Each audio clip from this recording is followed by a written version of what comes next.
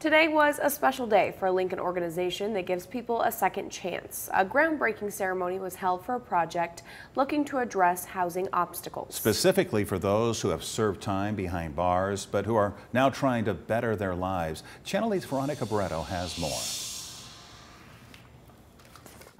What all started as a dream in 2017 has now become a reality.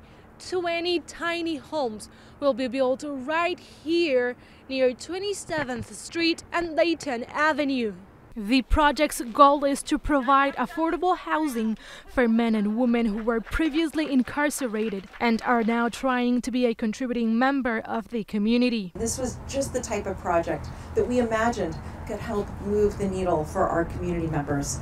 We're so proud to have pioneers like all of you making this possible. The nonprofit's executive director says the total cost of the project is about $2.3 million.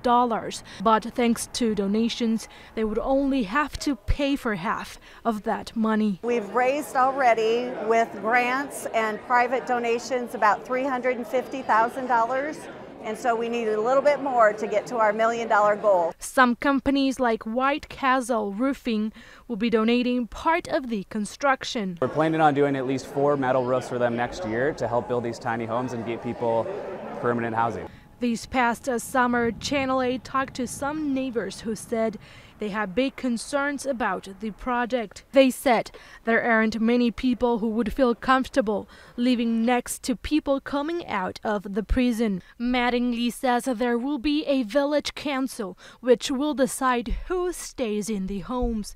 She says neighbors will play a big role. Having the neighborhood involved and having a member on that village council is definitely going to keep the relationship positive and um, keep it successful.